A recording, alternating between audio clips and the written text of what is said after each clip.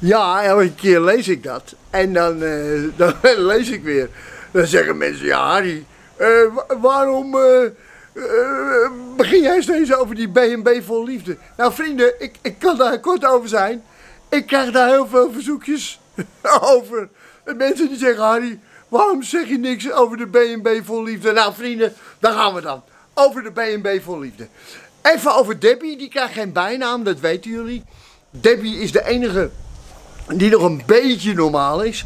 Maar Debbie zit dan met die Paul. Ja. Eh, bijgenaamd Hobbelpaard. Ja. Nou, en Hobbelpaard en, en, en, en, en die Debbie. Ja. Jullie en ik. Ja, eh, wij hopen natuurlijk allemaal dat dat wat gaat worden. Tussen de, de Debbie en het Hobbelpaard. Maar, maar, maar vrienden. De vraag is maar. Is Hobbelpaard wel swingend genoeg voor Debbie? Is Hobbelpaard wel spannend genoeg voor Debbie?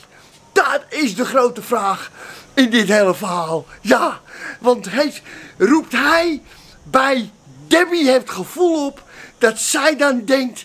Ja, ik spring even op het hobbelpaard. Dat weten we niet, vrienden. Ik ben bang van niet. Ik denk dat we daar misschien teleurgesteld gaan worden. Schakelen wij snel door even naar Thailand. Ja, en wat zien we daar allemaal gebeuren? We hebben daar die Martijn, ene, ene, ik noem hem even Tai Tai. En die, die zit daar maar te zweten en te doen. En die krijgt de ene vrouw naar de ander, die allemaal in, met hoge verwachtingen daar naar Thailand zijn gegaan. Want hij is zo'n leuk knuffelbeertje.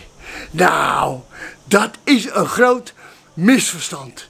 Ja, want Tai Tai is gewoon een zwetende en niet attente man. En, en die, eh, eh, ja, en hij is ook nog eens een keertje wereldkampioen. Onhandig met vrouwen. Plus dat hij zich enorm irriteert. Snel aan een verkeerd woord, een verkeerd gebaar of wat dan ook. En dan is zo'n vrouw gelijk poep en weg.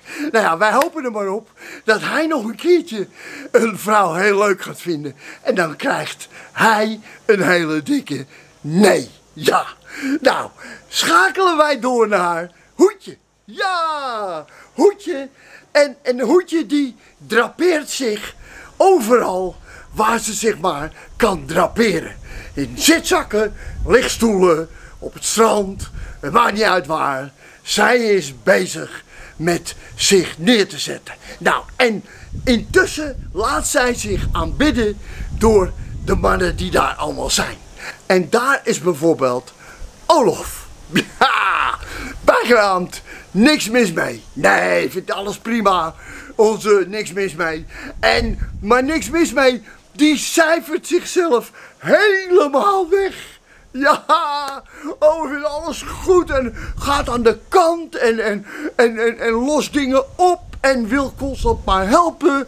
En die is zo aan het wegcijferen dat hij bijna eh, in aanmerking komt voor de hoofdrol van de onzichtbare man. Want door dat hele gedoe wordt hij volkomen oninteressant voor Hoedje. Want daar vallen vrouwen niet op. En Hoedje ziet hem eigenlijk niet meer staan. En Hoedje is nu jurylid geworden en heeft hem een 6 gegeven. Nou, dat is niet voldoende. Dus wij weten, niks mis mee, die gaat het uiteindelijk niet redden. Nee.